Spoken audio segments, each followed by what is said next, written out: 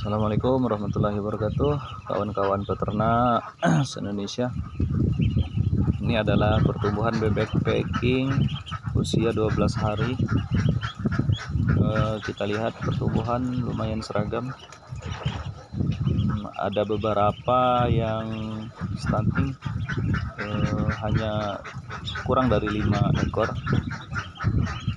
Dengan hari ini kematian masih nol tidak ada kematian.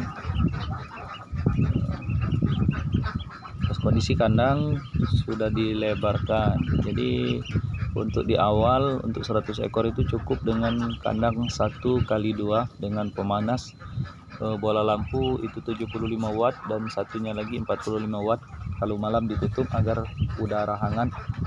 Eh, agar udara tetap hangat di dalam kandang kalau udara dingin itu mempengaruhi kesehatan DOD yang masih rentan yang masih kecil. Tapi kalau sekarang sudah tidak memerlukan pemanas lagi di siang hari. Cukup dengan malam atau pada kondisi hujan. Untuk pakan sampai 1 sampai 15 hari kita menggunakan pakan pabrikan. Pur BR1 atau Srea atau Sinta yang bagus lah. Yang kira-kira sesuai dengan kondisi eh, keuangan kita masing-masing. Selanjutnya dari 15 hari sampai panen itu bisa menggunakan pakan alternatif Eh, seperti dedak dicampur dengan eh, gilingan ikan atau dedak dicampur dengan keong atau dedak dicampur dengan konsentran atau dedak dicampur dengan eh, usus yang direbus kemudian digiling itu menjadi pilihan.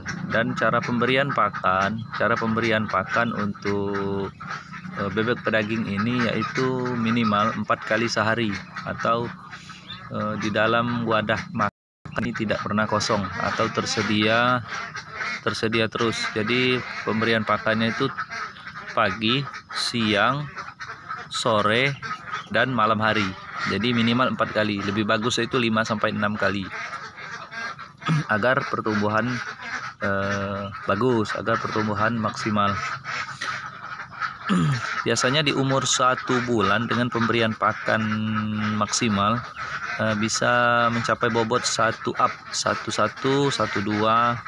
Di usia 45 hari itu tembus 15 1,5 kg Alhamdulillah untuk harga sekarang lumayan bagus. Me, pertama e, menjelang bulan puasa jadi harga cukup tinggi 30 sampai 35.000 per kilogram. Jadi kalau satu ekornya itu 1,5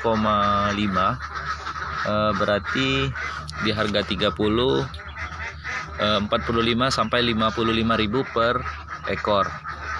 Sedangkan modal kita untuk per ekornya itu sampai panen eh, sekitar 20 25 sampai eh, 30.000. Jadi ada selisih 5 sampai 15.000 per ekor.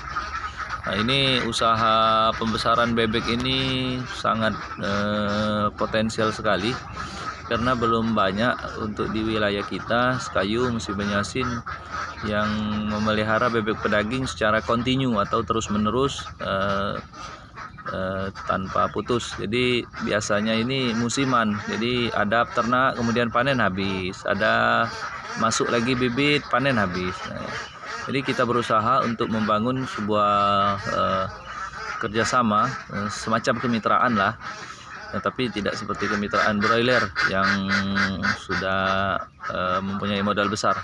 Jadi kemitraan di sini dimaksud adalah kita menyediakan bibit, eh, tapi masih beli, bukan disediakan cuma-cuma ya.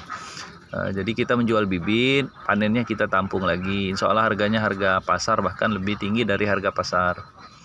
Eh, karena kendala peternak uh, karena kami juga peternak.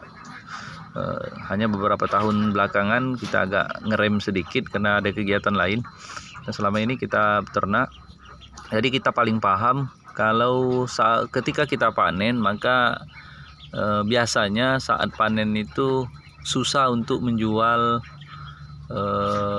panenan sekaligus atau menjual panenan Eh, dalam jumlah banyak atau ketika kita panen karena agak susah jual maka dibeli orang harganya murah dan lain sebagainya. Nah, untuk itulah kami mengatasi permasalahan peternak itu ya dengan cara eh, menampung harga, menampung hasil panen dari kawan-kawan peternak dengan harga yang wajar, dengan harga yang pantas dan insya Allah saling menguntungkan. Saya bibitnya dibeli dan ketersediaan stok saya ada dari kawan-kawan peternak dan kawan-kawan peternak fokus di pembesaran. Untuk penjualan eh, sudah ada yang menghandle. Untuk kawan-kawan yang berminat uh, untuk pembelian DOD bibit uh, silakan ke WhatsApp kami atau melalui Facebook uh, Chandra ini. Uh, di nomor WhatsApp 0821 8202 3349 salam ternak salam sukses.